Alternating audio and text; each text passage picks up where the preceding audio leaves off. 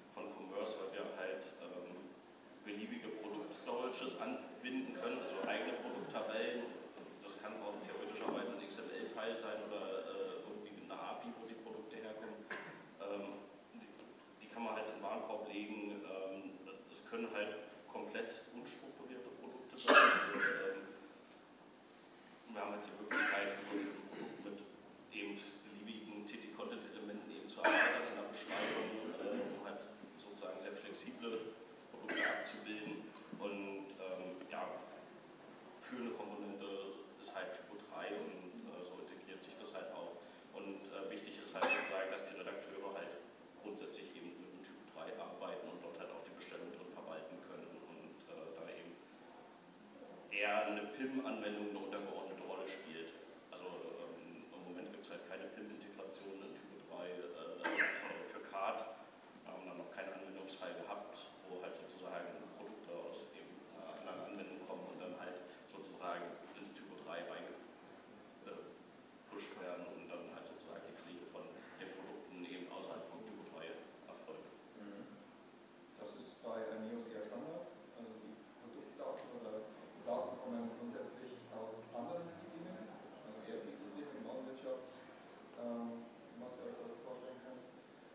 letztlich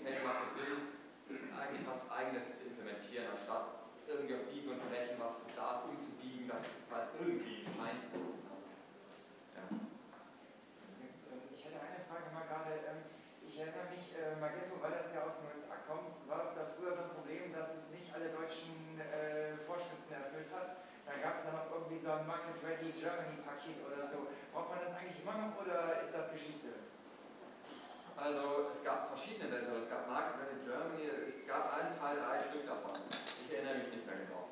Ganz ehrlich, ich weiß es nicht. Ich bin ein Programmierer. ja, ich, das, äh, da, da kümmere ich mich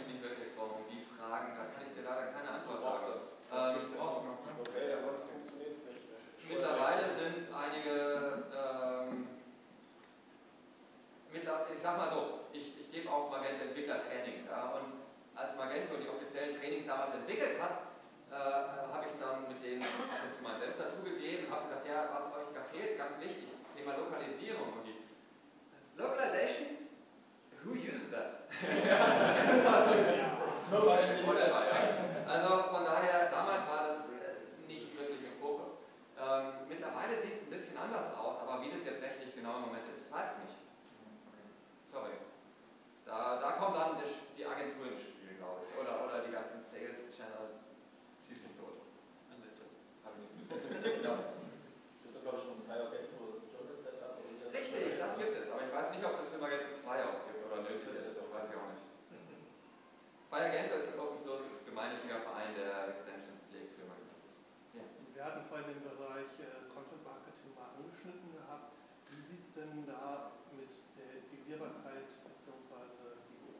looking for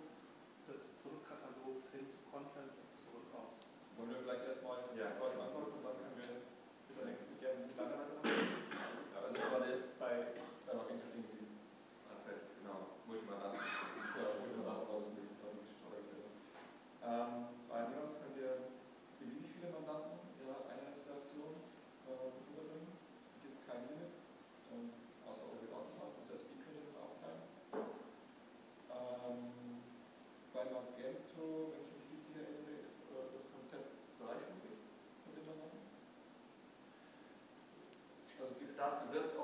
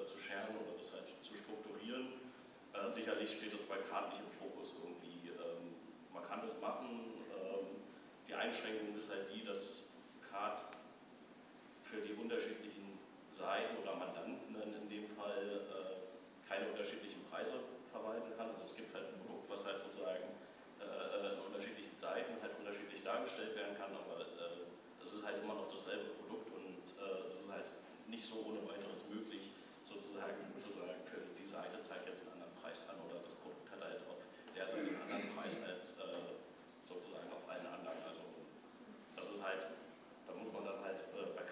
Karte im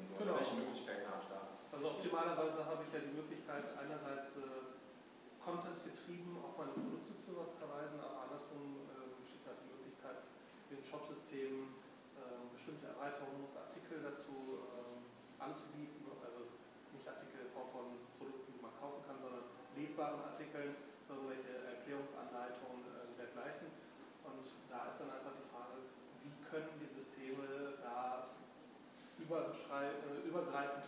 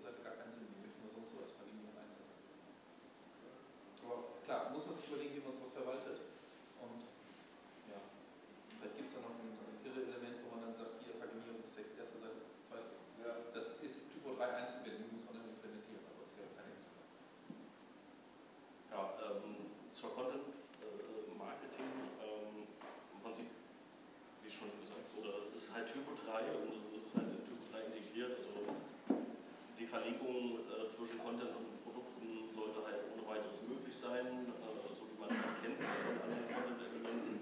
Äh, Card bietet nach wie vor noch die Möglichkeit, äh, komplett ohne Produktdatenbank zu arbeiten.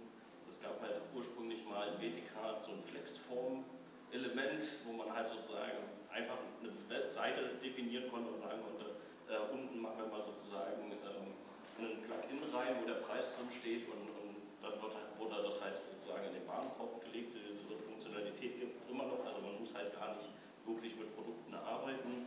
Ähm, die Anforderungen mit äh, unterschiedlichen SEO-Texten auf äh, unterschiedlichen Seiten habe ich bei einem Shopware-Projekt letztens halt gesehen, ähm,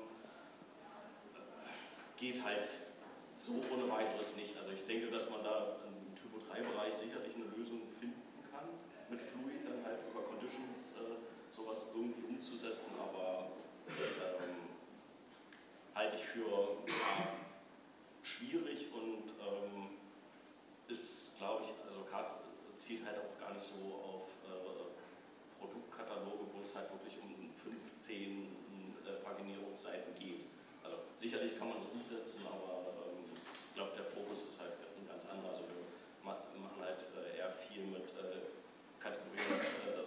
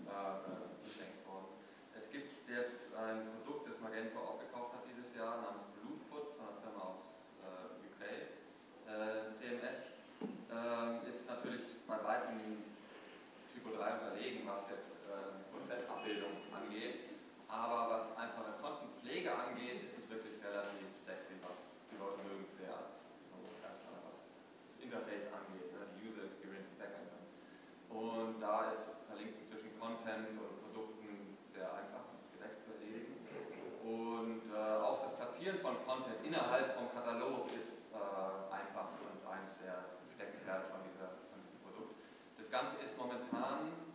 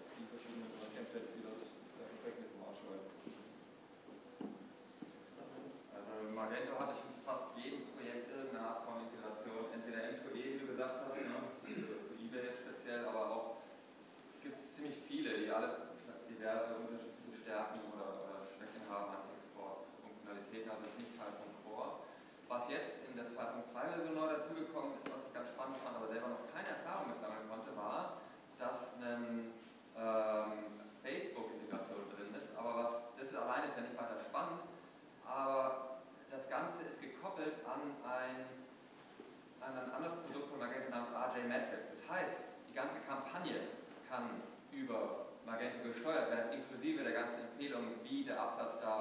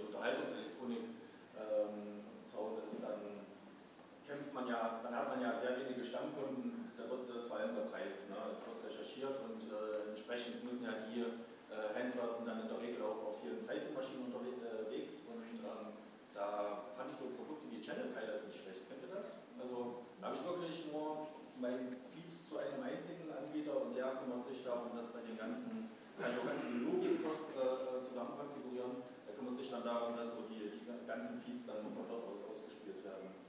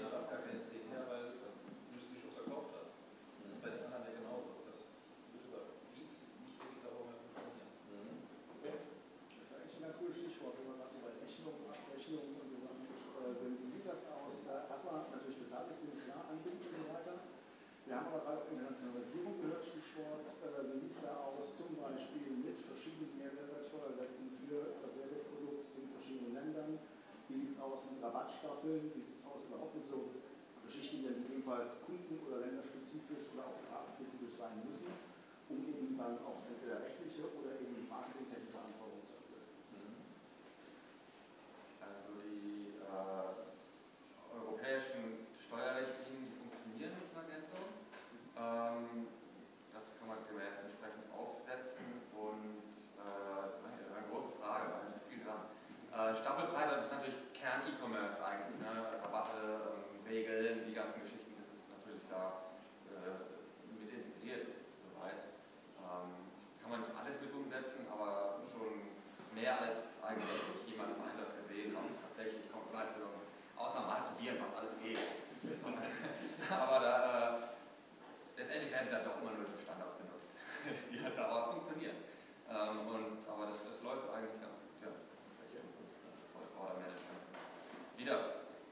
zwar über das Backend von Magento, aber in der Praxis ist es dann mal doch meistens ausgelagert in irgendeinem quasi.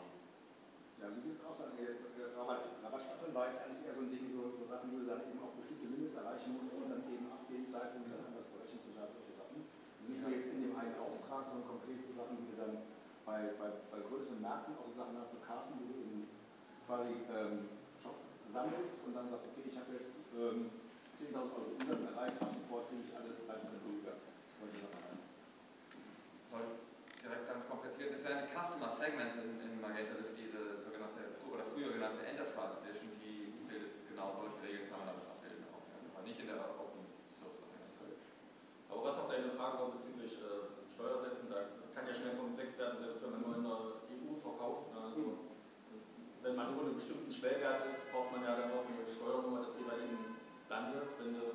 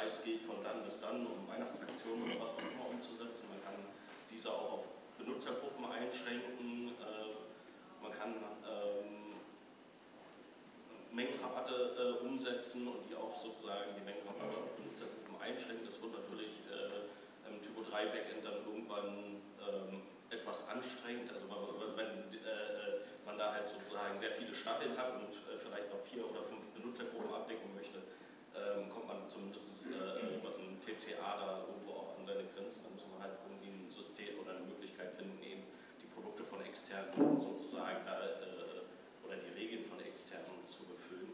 Ähm, also das ist äh, prinzipiell möglich äh, und Card rechnet halt sozusagen für den Kunden immer den günstigsten Preis aus. Also je nachdem, welche, äh, ob halt sozusagen der Mengenrabatt günstiger ist oder sozusagen der andere äh, zeitlich äh, oder der zeitliche Fokus, ähm, kommt halt für den Kunden immer der günstigste Preis raus.